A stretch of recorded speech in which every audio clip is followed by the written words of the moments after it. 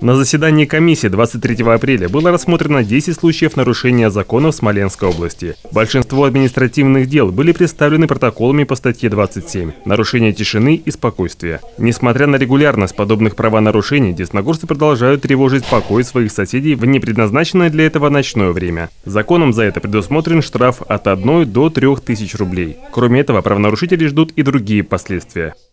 И в вашей биографии будет стоять отметка, что такого-то числа вы были привлечены к административной, э, к административной ответственности за нарушение статьи 27. Вот самое главное.